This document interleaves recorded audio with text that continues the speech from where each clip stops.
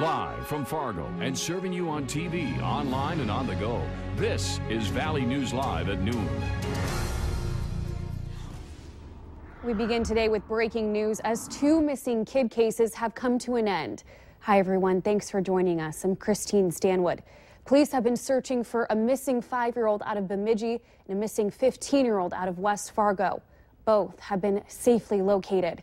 That West Fargo teen, Preston Spangler, was one of three brothers who went missing yesterday, which prompted a search across town. West Fargo police confirmed Preston was found in Fargo today and is being taken to a medical facility to be evaluated. His two younger brothers, eight year old Jacob and 12 year old Roman Spangler, were found safe yesterday night. We have also learned that five year old Brittany Blaser has been found after a deadly house fire and a suspect is in custody. Blaser was visiting a home yesterday when it caught on fire. That's when she went missing. When crews arrived, the home was fully engulfed in flames. Once the fire was under control, an adult body was found. They have been identified the victim as Melissa Norby, who was a good friend of Brittany's mother. People living near where the fire happened are thankful the little girl was found safe. We're very, very thankful because anytime a child is lost, because I've got eight granddaughters and I know I would just be devastated if something happened to any of them.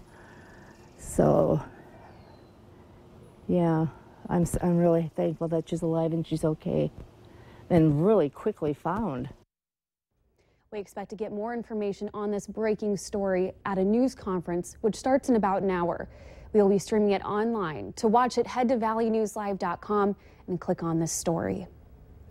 Also new for you at noon, over the past four days, Grand Forks police have responded to three drug overdoses. And those are just the ones they know about. So far in 2016, police say they have responded to 13 overdoses, and most of them are suspected to be heroin related. Two of them have been deadly. In response to this, the department is reminding the public to look for signs of possible drug activity and symptoms of an overdose.